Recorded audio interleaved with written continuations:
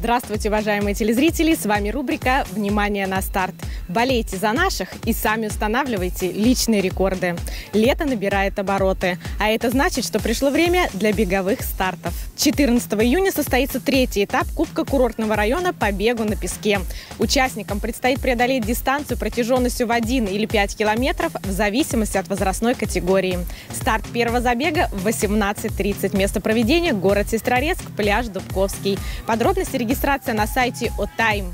Бег по песку требует в два раза больше энергии, чем бег по твердой поверхности. Приходите, пришло время для интенсивной нагрузки. Яркие футбольные баталии ждут жителей курортного района в честь Всероссийского Олимпийского дня. 17 июня на территории пляжа Северный состоится соревнование по пляжному футболу. Начало в 11.00. Подробности в группе ВКонтакте «Центр спорта курортного района».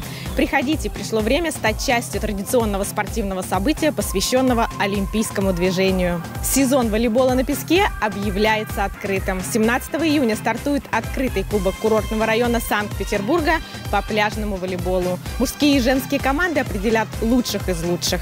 Начало в 10.00. Место проведения – город Сестрорецк, пляж Дубковский. Подробности в группе ВКонтакте «Центр спорта курортного района». Приходите насладиться игрой профессионалов. Динамичные эмоциональные игры не оставят равнодушными даже самых искушенных зрителей.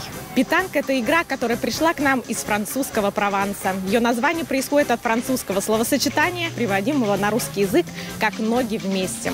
В настоящее время питанк очень популярен и у нас в России. 17 и 18 июня на территории Парка культуры и отдыха Дубки состоится четвертый и пятый этапы Гран-при России по питанку. Формат турнира – личные соревнования среди мужчин и женщин. Начало в 10.00.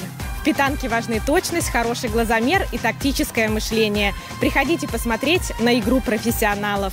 И помните, день, проведенный с пользой для здоровья, подарит вам неделю отличного настроения. С вами была Екатерина Иванова. До встречи через неделю.